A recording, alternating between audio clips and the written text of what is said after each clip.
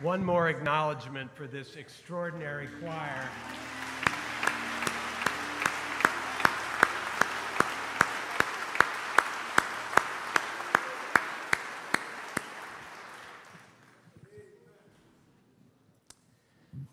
Dr. Butts, as I begin, I would want you to know I am once again both humbled and proud to speak from your pulpit before your beloved Abyssinian Baptist Church community.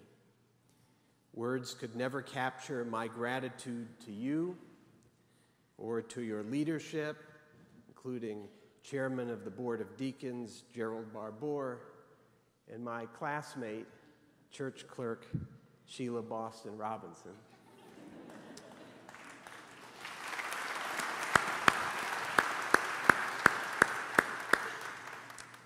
And certainly, no words could capture my thanks to your membership. My congregation and I are deeply honored at your invitation and their welcome. To your choir, an echo of heaven on earth, my thanks. And to Abyssinians Naomi Graham and Emanu-El's Mark Heitlinger, the glue that holds our operation together.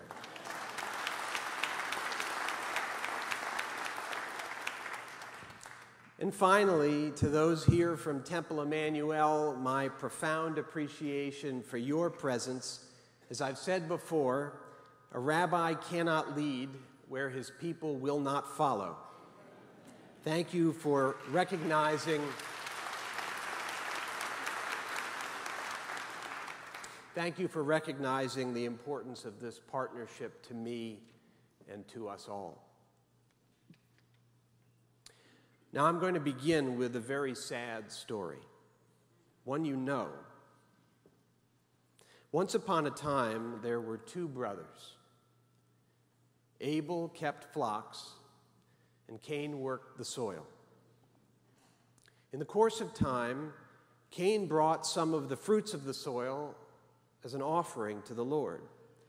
And Abel also brought an offering, fat portions from some of the firstborn of his flock. The Lord looked with favor on Abel and his offering, but on Cain and his offering he did not look with favor. So Cain was very angry, and his face was downcast. Then the Lord said to Cain, Why are you angry? Why is your face downcast? If you do what is right, will you not be rewarded? But if you do not do what is right, sin is crouching at your door. It desires to have you, but you can rule over it. Now Cain said to his brother Abel, Let us go out to the field. While they were there in the field, Cain attacked his brother Abel and killed him. Then the Lord said to Cain, Where is your brother Abel? I do not know, he replied. Am I my brother's keeper? And the Lord said, What have you done? Your brother's blood cries out to me from the ground. Two weeks ago, I returned from a congregational pilgrimage to Israel. There we visited Yad Vashem, the World Holocaust Remembrance Center, recounting the systematic slaughter of six million Jews and five million gypsies, Jehovah's Witnesses, people with disabilities, gays, and blacks in Nazi occupied Europe. Prominent in the memorial stands a tribute to the righteous among the nations non Jews who risked their lives to save Jews from Hitler's final solution. One was Imre Bathory, a Hungarian farmer who encountered a young Jewish man, Martin Wiesel, on a train attempting to evade deportation to the concentration camps. I know that you are a Jew in trouble, Bathory reassured Wiesel. I'll help you. He then feigned to government officials that Wiesel was his son and sheltered him and four other Jews in his farmhouse. When interviewed about his heroism, Bathory remarked pointedly, I know that when I stand before God on Judgment Day, I shall not be asked the question posed to Cain Where were you when your brother's blood was crying out to God? By design, Bathory's warning looms over the exhibit. When I read it, I shuddered. Every day, God demands of us what God demanded of Cain. Where are you? Can't you hear that your brother's blood cries out to me? We live in an age of callous disregard for human dignity, an era of open hatred that boldly demonizes anyone different, and of stealth discrimination that deftly thumbs the scales of fairness keeping the disadvantaged down and perpetuating old suspicions. Open hatred.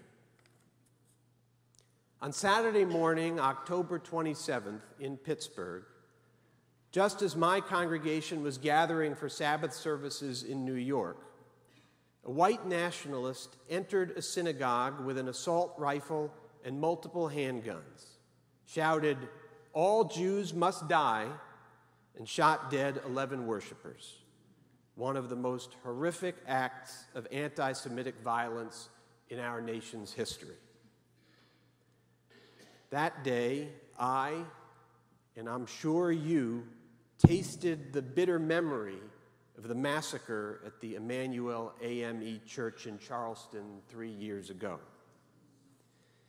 As I told you Friday in Temple, the first call I received that afternoon was from Dr. Butts. We've got to do something, Joshua, he said. We've got to do something. The Pittsburgh shooting proved once again the desperate need for meaningful gun safety legislation. Had Robert Bowers walked into Tree of Life or Dylann Roof into Mother Emanuel with a knife instead of a gun, the outcome surely would have been different. And it proved once again that bigots are equal opportunity haters. Bowers' loathsome rhetoric targeted Muslims and refugees too. We've got to do something. Together, we must effect a sea change, reverse the tides of intolerance long surging in America, but stirred anew by a politics of hate that would drown all minorities, no matter our religion, ethnicity, race, or gender identity or preference. As people of faith, we must offer a wholly different view of what America ought to be.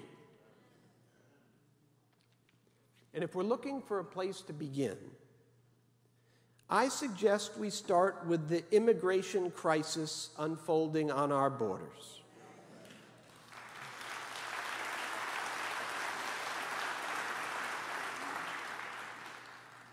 Now, I'm not talking about the one the White House would have us believe an invasion of drug runners and terrorists, but rather the crisis of man's inhumanity to man, of family separations, of sending back into danger those fleeing for their lives. The highest biblical ideal is welcoming the stranger, no fewer than 36 times as the Torah commanded. So, how can we not respond to today's dehumanization of immigrants and asylum seekers? What the late Senator John McCain described in his final memoir as the exploitation by opportunists of old fears and animosities that have blighted American history.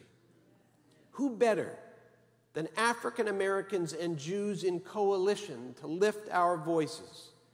Whether we came here on slave ships or immigrant ships, or our ships were barred entry in the harbor, our peoples have known the obstacles to making it in America. Let me tell you about Bernard Marks. Marks was a survivor of both the Auschwitz and the Dachau concentration camps. On December 28th, he died. But not before making headlines comparing the Trump administration's policy on refugees to America's quotas that turned away Jews fleeing Hitler. I feel compelled to raise my voice when I hear echoes of my childhood, he wrote. The fear that immigrants in the United States live with is personal and familiar to me. I cannot forget the day the special police came to the door of our home in Poland and took my father away. One of the most eloquent spokesmen for immigrant justice has been Temple Emanu-El's own Robert Morgenthau. If we cannot be our brother's brother, if we cannot be our brother's keeper, he admonishes us, let us at least be our brother's brother.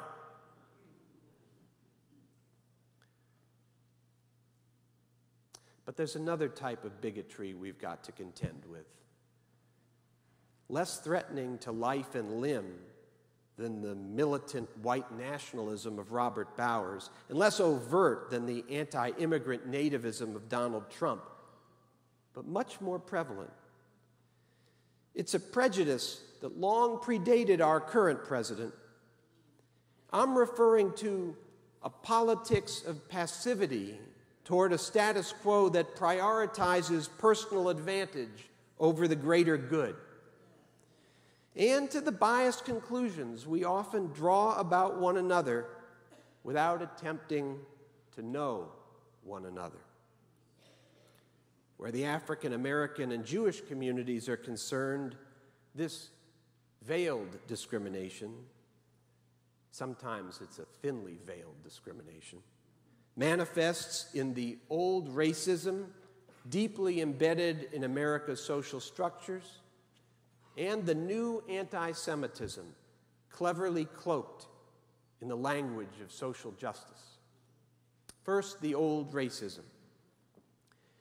2019 marks the 400th anniversary of the arrival of the first African slaves in Jamestown and slavery's effects still linger. De facto segregation still exists. Voter suppression continues. From coast to coast, even in America's more heterogeneous neighborhoods, racial profiling persists. According to a recent national survey, four in 10 African Americans encounter racial bias in stores and restaurants, and five in 10 face it in the workplace. When Starbucks has to close all its coffee shops for racial bias training, you know America's got a problem.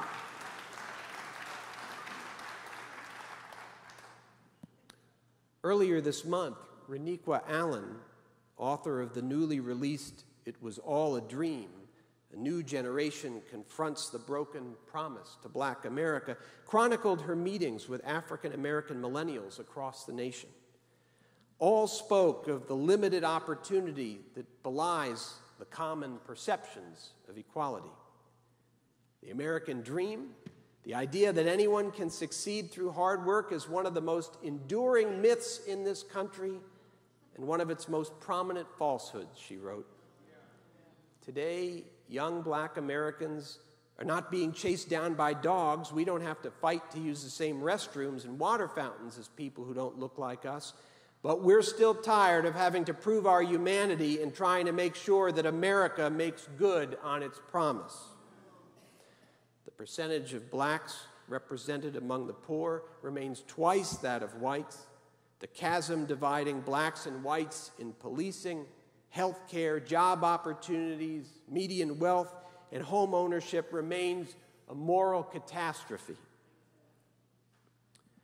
Now, some Americans are happy to keep it that way, which is why bigots like Steve King, who hear no offense in the term white supremacist, can hang around so long. Many more, though, decry the inequity, but have chosen to accept the Faustian bargain of economic policies that effectively prioritize individual wealth over communal well being. They happily ride each economic crest high above those swamped in the troughs below. In his recent column, The Remoralization of the Market, David Brooks cited, of all people, Tucker Carlson.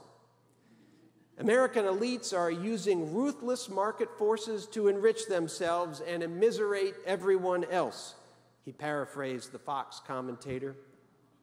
The crucial question, Brooks concluded, is not how can we have a good economy, it's how can we have a good society.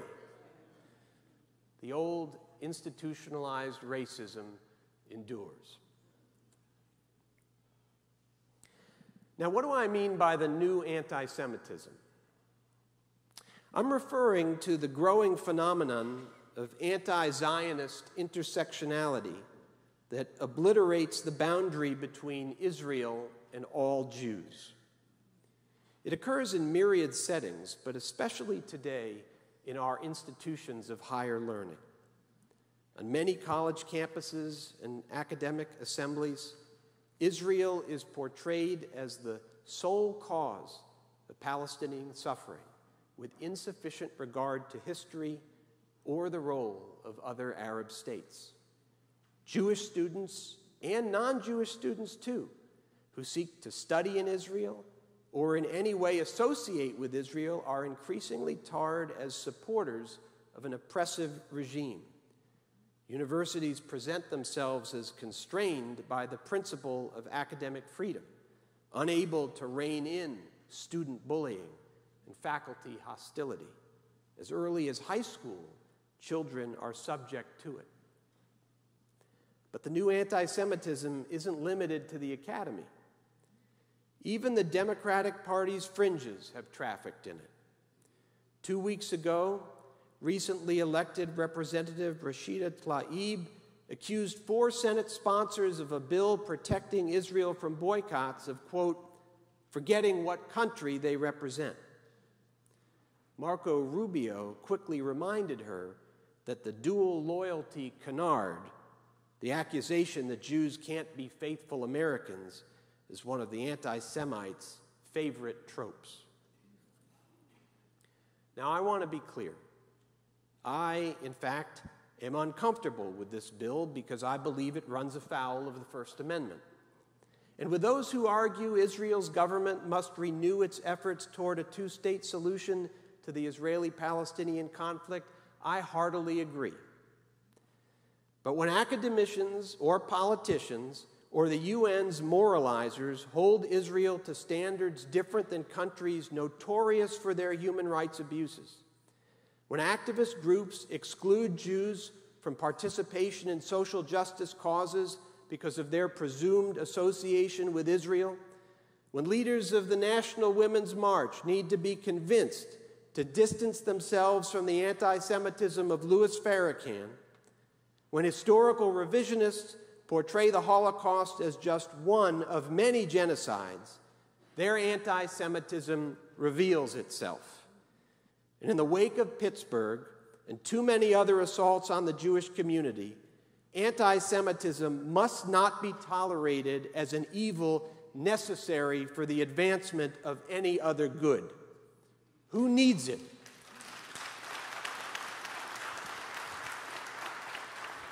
Who needs it? Hate cannot drive out hate. Only love can do that. Against the old systemic racism and this new anti Semitism, we need to lift our voices. Jews in America need to recognize that the ladder of upward mobility many of us were able to climb successfully generations ago has seen its rungs all but collapse. Percentage of African Americans represented among the poor in this country is far greater than it has ever been for Jews. Jewish outrage, while vocal in some quarters, has been largely missing in action. We must do better. And when anti Zionists challenge the necessity of a Jewish homeland as a living symbol of Jewish survival and a secure refuge against anti Semitism sweeping again across Europe, we can answer as Dr. King did when he called anti Zionism the denial to the Jewish people of a fundamental right we justly claim and freely accord to all other nations of the globe.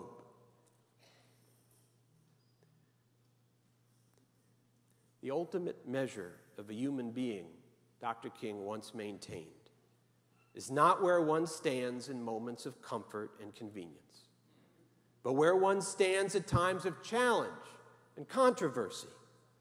That's why Dr. King went to jail in 1963. I cannot sit idly by in Atlanta and not be concerned about what happens in Birmingham, he insisted. We are caught in an inescapable network of mutuality tied in a single garment of destiny. Whatever affects one directly affects all indirectly. We can never forget that everything Hitler did in Germany was legal, and everything the Hungarian freedom fighters did in Hungary was illegal. It was illegal to aid and comfort a Jew in Hitler's Germany. But I am sure that if I had lived in Germany during that time, King writes, I would have aided and comforted my Jewish brothers. If I lived in a country today where certain principles dear to our faith were suppressed, I believe I would openly advocate disobeying those anti religious laws. We are living in a country today where certain principles dear to our faiths, core to our very identities, are being suppressed openly and artfully. They are sacrificed daily on the altars of nativism and greed, fear and deception. We've got to do something.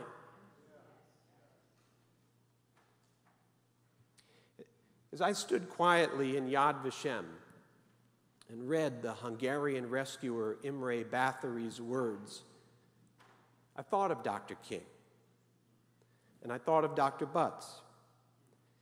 And I thought of the Talmudic teaching. It says, in the hour of final judgment, God's messengers will ask each of us, What did you do with your life? To those who say, I fed the hungry, they will reply, This is God's gate. Enter. To those who reply, I gave water to the thirsty, they will respond, This is God's gate. Enter. To those who respond, I clothed the naked, they will answer, This is God's gate. Enter. To those who answer, The fear of the Lord was my treasure, they will promise, This is God's gate. Enter. At the dawn of this new year, 2019, may the fear of the Lord be our treasure. And on this weekend, which celebrates the enduring legacy of God's faithful messenger, may we begin to direct our brief stay on earth so that when we stand before God and the question is put to us, What did you do with your life? we too will be welcomed into God's presence. Amen.